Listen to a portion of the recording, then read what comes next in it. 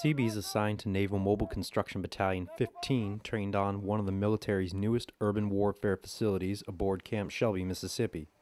Basically, what the point of this is is to teach them how to uh, recover from a, a, traumatic event, multiple trucks being um, blown up, whatnot, where they have to take a hardened structure, um, get themselves off the X, get into a building and a mount facility such as this if they're in a city and whatnot, and be able to call in for reinforcements to come help them out.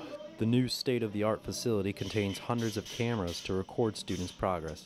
You can always do a good debrief like we were in the past, but now we have the advantage to play these back for them and show them the mistakes that they've made and different options that they could have took at that moment in time. Recording the training provides students with a valuable tool to help them improve. With this, you get in the heat of the moment and you're not really, you, you can't remember everything you do because your adrenaline's rushing everything.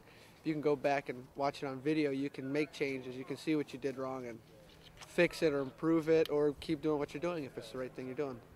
Instructors can also control lights, sounds, and even introduce odors to immerse students into their environment. Uh, this training was it was a great training. It's good learning. It's uh, good to know in case something does happen while we're out on the road and we do need to tactically take a building. We can do it safely, securely, and in efficient time. Seabees assigned to NMCB 15 are currently mobilized in support of Operation Enduring Freedom and are preparing to deploy. Reporting from Camp Shelby, Mississippi, this is Petty Officer Second Class Daniel Garris.